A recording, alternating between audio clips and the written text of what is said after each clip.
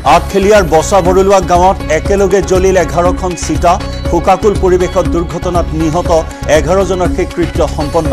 বৰ্তমানে হাস্পতালত চিকিৎসাধীন দুৰ্ঘটনাত আহত তেত্ৰিছগৰাকী সংকটজনক অৱস্থাত নিশাই চাৰিজনক জি এম চি এইচলৈ প্ৰেৰণ। N H I D C এলৰ চূড়ান্ত গাফিলতিৰ বাবে সংঘটিত হ'ল ডেৰগাঁৱৰ দুৰ্ঘটনা। নিশা লগোৱা ডাইভাৰ্চনৰ ফলক আঁতৰাবলৈ পাহৰিছিল বগা হাতীত পৰিণত N H I D C এলে আৰক্ষী মহাপৰিদৰ্শকৰ তদন্তত উন্মোচিত ভয়ংকৰ তথ্য। ডেৰগাঁৱৰ দুৰ্ঘটনাৰ পিছতে বনভোজক লৈ আৰক্ষীৰ এছ অ' পি জাৰি সূৰ্যোদয়ৰ পিছতহে ঘৰৰ পৰা ওলাব পাৰিব বনভোজৰ বাহন।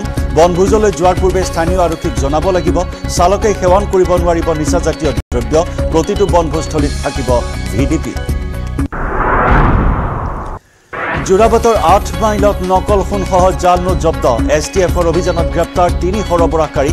এখন এল্টো বাহনত সৰবৰাহ কৰিছিল বৃহৎ পৰিমাণৰ নকল সোণ আৰু জাল নোট। আলফাৰ শান্তি চুক্তিৰ পিছতো আলফাৰ স্বাধীনত অব্যাহত আছে সদস্য ভৰ্তি। এইবাৰ আলফা স্বাধীনত আই আই টি গুৱাহাটীৰ কৰ্মচাৰীৰ যোগদানৰ সন্দেহ। শিৱসাগৰৰ